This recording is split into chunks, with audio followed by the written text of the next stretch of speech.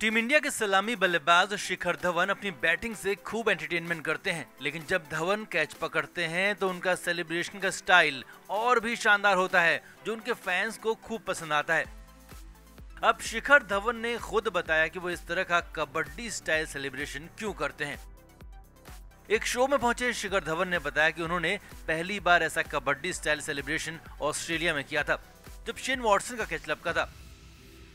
धवन ने कहा कि मैं कबड्डी देखना पसंद करता हूँ और ये मेरे लिए बेहद मनोरंजक है।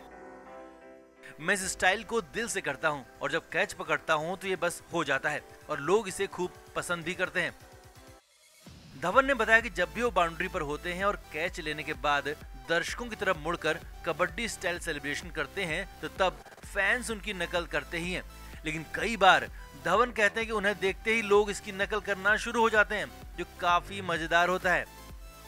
धवन ने अपने निकनेम को लेकर भी बात की। उन्होंने कहा, टीम में मुझे कोई भी शिखर नहीं बुलाता। सब मुझे गब्बर ही कहते हैं। और मुझे ये नाम रणजी ट्रॉफी के दौरान मिला था।